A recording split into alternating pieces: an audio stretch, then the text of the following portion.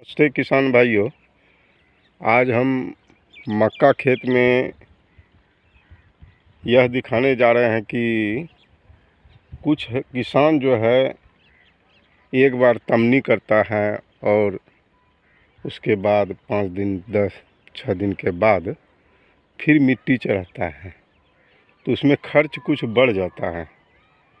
ऐसे तो मक्का का जड़ जो है वह बहुत फैल जाता है और जंगल अगर हल्का मलका रहे, यानी पहले जो मक्का लगाने के समय में जो खाद के साथ में खरपतवार मारने वाला जो दवाई दिया जाता है,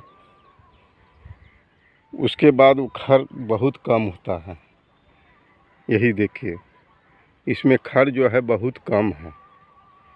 और अब इसमें पाँच दिन के बाद जो है, एक ही बार में मिट्टी चढ़ा दिया जाएगा। तमनी उमनी का कोई ज़रूरी नहीं है।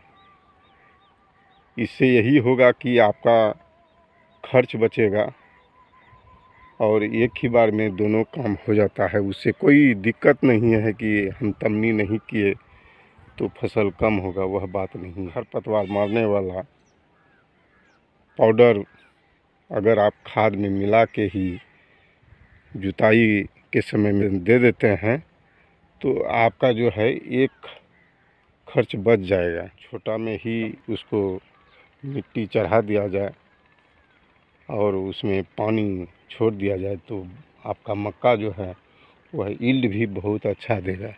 तो आपका खर्च भी बच जाएगा और एक ही बार में खाद उद देकर मिट्टी अगर चढ़ा देते हैं तो बहुत अच्छा रहेगा। ऐसे किसान का अपना अपना सोच होता है, लेकिन यह तो हम अनुभव किए हैं। मेन चीज़ है पानी। अगर आप समय पर पानी देते जाते हैं तो आपका मक्का जो है अच्छा उत्पाद देगा। तो हम किसान को यही कहेंगे कि मेरे चैनल को ज़रूर सब्सक्राइब कीजिएगा। वीडियो को भी लाइक कीजिएगा। इसी तरह हम बहुत तरह का खेती का अनुभव दिखाते रहेंगे।